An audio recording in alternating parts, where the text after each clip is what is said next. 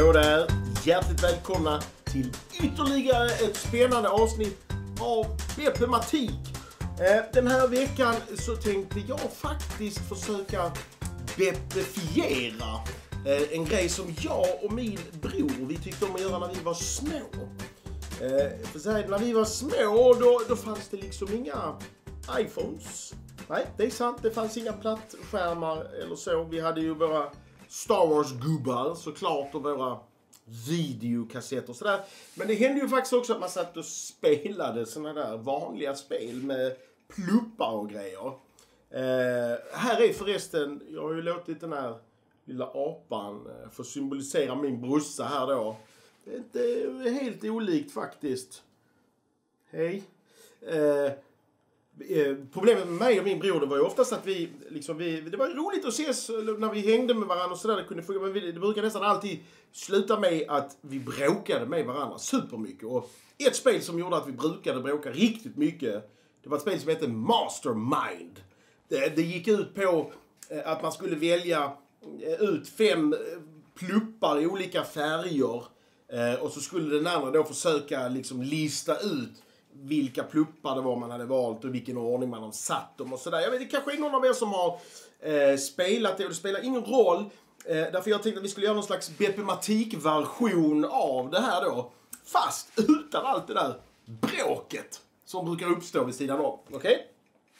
Och när man spelar det här, eh, ska, vi, ska vi kalla det för eh, mästarsinnet. Eller mästar... Kalla det för vad ni vill. Gissnings... Beppes mästargissning Super Deluxe tävling. Det, det blir bra. Beppes mästargissar-super-deluxe-tävling, Så kallar vi det för. Eh, går ut på följande. Man ska vara två personer som spelar det här spelet. Och det, det är rätt så bra för att man får träna sig lite på siffror och känna igen mönster och sådär. Så att det är faktiskt inte alls dum idé att lura er lärare och säga att ni ska göra det här på mattelektionen. Den är bra. Eh, vi har en som är mästare, det vill säga den som ska eh, komma på fem helt random siffror. Och sen så har vi en som är gissare. Och för att det ska bli lättare att hänga med så kommer jag vara super liksom... Ni kommer kunna se allt här nu på pappret. Men ni kommer förstå sen att vissa grejer ska ni ju helst inte visa för varandra. Så vi börjar med att låtsas att jag är mästare nu då. Jag sitter här med min brorsa, sitter här så. Jag som är mästare, helt random, ska jag hitta på fem stycken siffror i rad. Eh, vad som helst liksom. Sju, fem, tre, åtta, fyra. Typ så. Ni behöver bara penna och papper för att göra detta. Okej? I vanliga fall så tar mästaren då den här siffran som mästaren har valt ut och håller den för sig själv. Visar den inte för någon annan. Okej? Eh, sen har vi då apan, eller gissaren då som vi kan säga. Den som ska försöka gissa nu vilka siffror det är som mästaren har, har liksom kommit på själv. Den här gissaren gör ett gäng rutor så här.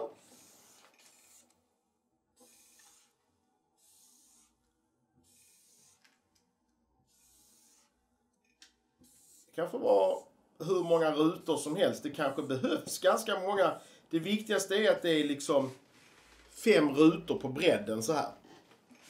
Så det här kan man säga är gissarens spelplan. Om ni kollar här nu så låtsas vi att de finns inte där. Så här ser gissarens spelplan ut. Och den här siffran här uppe, det är bara mästaren som vet vilka siffror det är. Okej. Gissaren börjar med att gissa Mm, vad som helst. Försöker liksom komma på eh, vilka siffror som mästaren har valt. Gissaren kanske tycker att jaha, ska vi prova med det är helt random det här. 8, 9, 3, 4, 7. Det här gissade gissaren på. Är det samma siffror som mästaren? Nej, det är det ju inte riktigt va. Och istället för att mästaren nu ska svara med ord.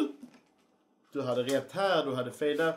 Så ska mästaren använda sig av tre olika symboler. Okej?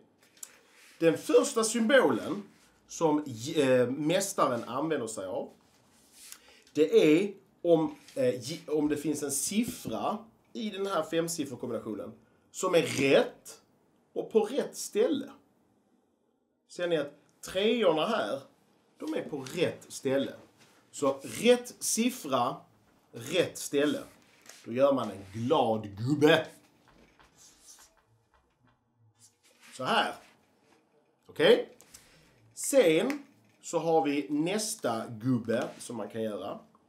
Och då är det rätt siffra men fel ställe. Ser ni fler liksom så här? Rätt siffra, fel ställe. Ja, just det. Åt, åttan. Det är ju rätt siffra men det är fel ställe. Och då gör man ingen glad gubbe. Utan då gör man en sån här, vad ska vi säga, en neutral gubbe. En gubbe som inte känner varken glädje eller sorg. Eh, nian, nej, det var inga nior alls. Fyran, ja det var en fyra där också. Rätt siffra, fel ställe. Då gör vi en sån igen. Neutral gubbe. Sjuan också. Neutral. Så här. Nian däremot, det finns ju liksom inga nior alls här någonstans. Så det är bara fel siffra. Och då gör man ju såklart en sur gubbe. Så här. Så här kan det se ut.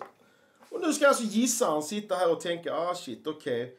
Då har jag fått lite information här nu från mästaren. Jag vet i alla fall att trean, den ska vara där därför att det var en glad gubbe. Så det var rätt siffra på rätt ställe. Inga problem. Nian, det var helt fel så jag kommer inte gissa på någon nia igen. Aldrig i livet. Och sen så vet jag att 8, 4, 7, de ska vara med, men de ska vara med i en annan ordning. Så jag kanske ska börja med att sätta dem i någon annan ordning. Kanske det blir så. Så. Så. Så. Och så skulle jag inte ha någon nia. Vi tar, testar en etta istället. Kommer mästaren igen med sina gubbar. Har vi några siffror som är rätt siffra, rätt plats. Trean är rätt.